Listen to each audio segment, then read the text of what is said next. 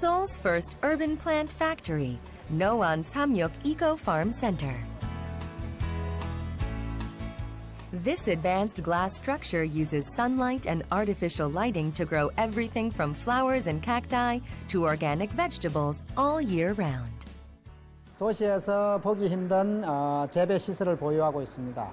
여기서는 청정 채소를 생산하는데 상추를 비롯한 이런 청정 채소는 건강에 도움이 되는 건강 어, 식품이 될 수 있고 그 다음에 화훼 작물로서 이제 선인장과 어, 전목 선인장을 재배하고 있습니다. 이것은 우리나라의 독특한 작물로서 세계적인 작물입니다. 그래서 이곳에서 생산된 어, 작물들을 우리가 가공해가지고 부가가치를 높인 다음에 시중에 판매해가지고 학교 기업으로서의 수익성을 창출하고 있습니다.